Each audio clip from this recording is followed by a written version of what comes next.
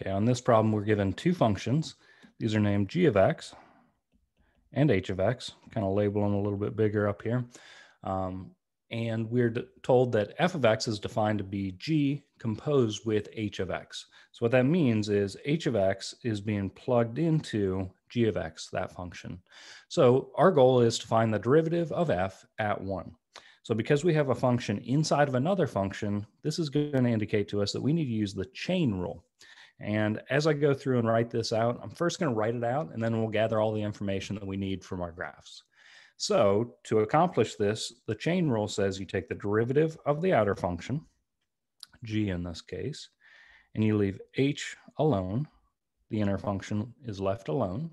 Um, I went ahead and I put one in as I went because we're looking for f prime of one.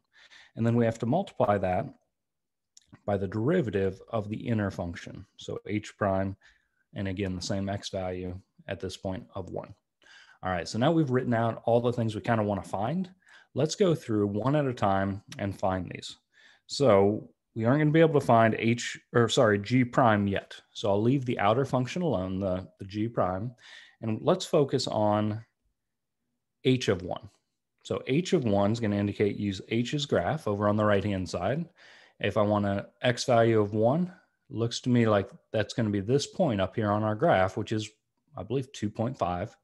So we could write out h of 1 equals 2.5, or um, 5 halves, just like the ordered pair 1 comma 2.5 is on this graph.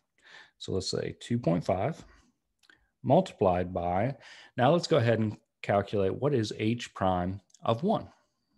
All right, so I can get rid of this. h prime of 1, again, we're using h's, h's graph over on the right-hand side. An x value of 1 gives us the same ordered pair that we're focused on on our graph. However, when we're talking about the derivative of h at 1, we're talking about the slope of the tangent line. All right, so if we wanted to calculate the slope of this tangent line, I think I'd maybe start here with my counting and think rise over run. If I go up one and to the right two, it's all this exact same line. So up one, right two corresponds with rise over run, up one, right two. That would be a slope of one half. All right, now we're not quite done. We haven't dealt with G prime of 2.5 yet. So with G prime, the derivative of G at 2.5, we're going to locate 2.5 on our G of X's graph. Um, 2.5 for an X value is right about here. Find the point on our graph. And now we want to calculate what's the slope. Remembering that derivative means slope of tangent line. So this looks like a nice straight line going on here. If I started maybe here, I can go down one, two, and to the right one, down two, and right one corresponds with down two and right one. Can replace g prime of 2.5. And we'll plug in our one half going on here.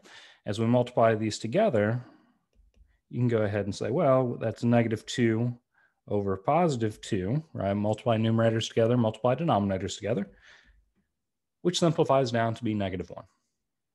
All right, so that's how you'd work one of these where it's a composition of functions going on, as opposed to if they define f of x some other way, if it was a product of functions or something else. All right, hope this helps. Good luck on it. See you next time.